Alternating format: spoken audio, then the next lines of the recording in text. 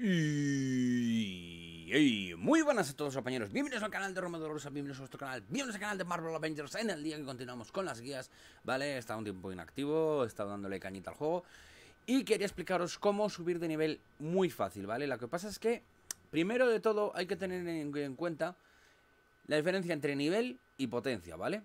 El nivel lo único que te hace es desbloquear las habilidades del personaje, ¿vale? Como estamos viendo, el nivel 50 te desbloquea todas las habilidades del personaje, mientras que la potencia va referente al equipo que llevas equipado, ¿vale? Por lo tanto, es muy fácil subir de nivel, ¿vale? Pero lo que tenemos que buscar también es que el personaje tenga potencia. Si el personaje no tiene potencia, olvídate porque el personaje te va a ser una caquicha. Sí que a lo mejor, oye, pues puedes subir nivel eh, un personaje secundario, por ejemplo, yo que sé, pues Kamala Khan, que la queramos tener en el equipo por su potencia sanadora, pero que tampoco lo vayamos a manejar, pues oye, pues mira, súbela de nivel, pero preocúpate poco de la potencia.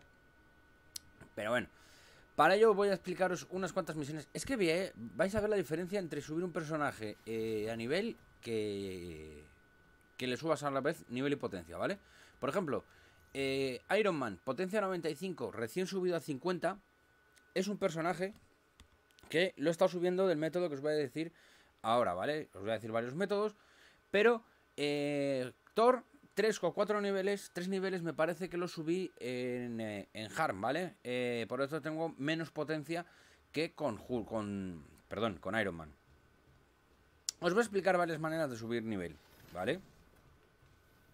La primera, vamos a subir mucho de nivel, pero sin subir absolutamente nada de potencia, cosa que por lo general no os lo voy a recomendar nunca, ya os digo, a no ser que queráis una Kamala, un Capitán América que nos genere orbes, etcétera, es que lo subamos en Harm. En Harm vamos a subir una verdadera salvajada de niveles, pero no vamos a subir absolutamente nada, pero nada de potencia. Por lo tanto, ¿es un método efectivo? Sí. ¿Es un método que merece la pena? No. ¿Por qué? ¿Por qué no merece la pena? Pues porque no vamos a subir potencia. Sin subir potencia, el personaje no vale absolutamente nada. Por cierto, si mantenemos el cuadrado, volvemos, vamos a hacer el transporte, que es donde estamos. Y si vamos aquí al cuadrado, vamos al, al hormiguero. Pero bueno, voy a recomendaros misiones, ¿vale? Que nos valgan mucho. Por ejemplo, estas de zona de despliegue son muy, muy buenas. Eh, y os explico por qué. Son misiones de 5 minutillos que pues cogemos algún cofrecillo y tal, ¿vale? Sobre todo si estamos jugando solo. Y son misiones muy cortas que nos van a conseguir un fragmento de ISO, cosa que muchas veces pues se nos queda atorado el personaje en la potencia porque nos falta el ISO de subir, eh, conseguir un ISO mejor, etcétera. Aquí vamos a encontrar eh, fragmentos de ISO, aparte que por hacer la misión, eh, si la hacemos al 100%, vamos a tener más recompensa, etcétera. Son misiones que ya os digo, os las recomiendo para hacer vosotros solos, oye, en plan una misión así, en plim pam pum, ya os digo, 5 o 10 minutos cada misión de estas de, de zona de despliegue, son muy, muy buenas. Otras que merecen muchísimo, por cierto, me falta hacer esto. Uh, loco, esta no la he hecho. Otras que merecen muchísimo, muchísimo la pena son, bueno, aparte de que tenéis que daros cuenta de las que son, eh, a ver si me sale alguna. Bueno, estas son las mejores misiones que hay para subir nivel. Os recomiendo hacerlas con gente, ¿vale? Pero las misiones de cámara son las mejores misiones que hay en todo el juego para conseguir nivel, potencia y de todo es brutal el farmeo que pegas de, de, de recursos para subir las armaduras, de niveles, de, de, todo.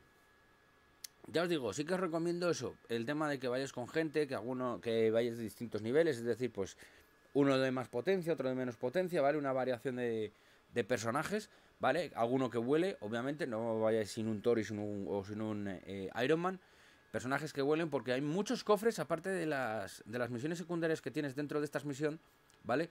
Hay muchos cofres ocultos. Yo he llegado a farmear aquí cerca de 20-25 cofres mm, o más, ¿vale? Solo en estas misiones, en las misiones de cámara, brutales, ya os digo, brutales. Luego tendremos también las misiones de colmena, están muy bien, son un pelín más largas, ¿vale? Estas son largas, ¿vale? Estas misiones son eh, cuarto de hora, 20 minutos, y te pones a hacerlo todo, más la que te encuentras en la cámara, más si que lo haces al 100%. Son misiones que os digo, mucha, muchos niveles, muchos objetos para, para farmear recursos.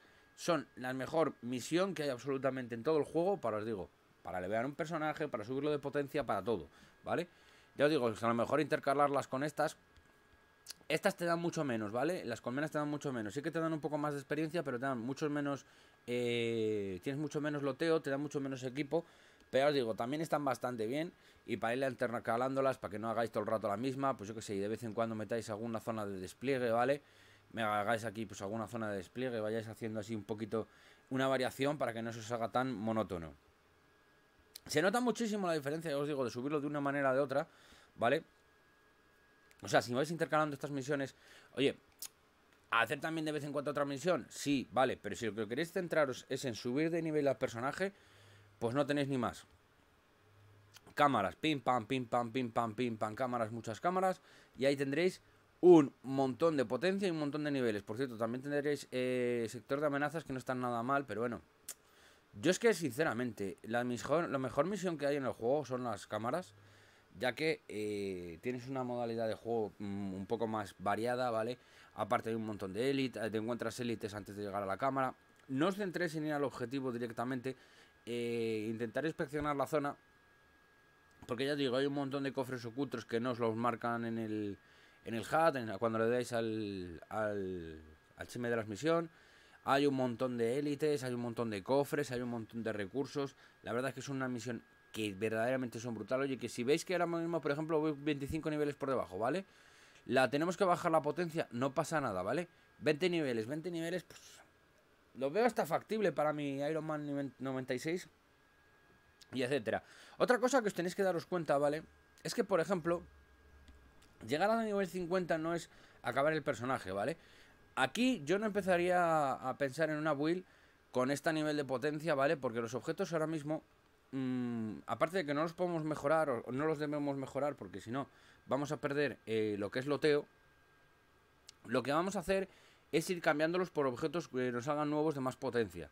Por lo tanto, hasta que no tengamos objetos 130 yo no pensaría eh, en hacer una build con un personaje, ¿vale? Aparte, después las habilidades sí que a lo mejor podríais empezar a hacer ya la build de, build de habilidades, etcétera. Aparte que en equipo los artefactos superiores son cuatro que yo sepa ahora mismo. Y a mí me falta uno. Tampoco empezaría a subir el artefacto, aunque lo tengas muy claro. Yo, por ejemplo, tengo puesto aquí el tactigón en la mayoría de los personajes porque me da más estadísticas. Pero, como veis, me falta un objeto, ¿vale? Que, me, que es aquí, que es el Dark Hole. Pero está bugueado ahora mismo esta misión. Esta misión la tengo bugueada. Por lo tanto, estoy esperando a ver si se me puedo terminar de hacer esta misión y conseguir el Dark Hole y ya poder eh, ir subiéndolos de nivel, ¿vale? Ya os digo, no os preocupéis mucho, no le deis mucho eh, bombo, ¿vale? Al tema nivel. O sea, ya os digo, lo queréis subir nivel muy rápido para... A lo mejor, oye, yo qué sé, pues que queréis, queréis conseguir una armadura de nivel 50, ¿veis? Que es esta de aquí, por ejemplo, de Iron Man. Oye, vale, venga, va, sube Harm. Lo que pasa es que date cuenta de que ese personaje, por mucho que sea nivel 50, no va a pegar, ¿vale? Ni va a pegar y va a ser, de, va a ser mm, de papel el personaje. Pero ya os digo. Creo que es mejor que hagáis un leveleo de personaje más lento. Eh, tampoco tanto, la verdad es que se sube bastante rápido de nivel, ese no es problema ninguno. Pero que le dediquéis el tiempo al personaje. La verdad es que cada, cada personaje es una manera de jugar el juego de manera totalmente distinta. Darle oportunidad a los personajes que a lo mejor, oye, pues a lo mejor este personaje que pensabas tú que, era una mierda, a lo mejor mola más de lo que parece. Porque, por ejemplo, yo he descubierto Iron Man no era mi personaje favorito y se está volviendo un, un clásico casi eh, dentro de lo que estoy jugando. Eh, Hulk está otro clásico. La verdad es que cada uno tiene su manera de jugarlo. No todos los personajes se juegan igual.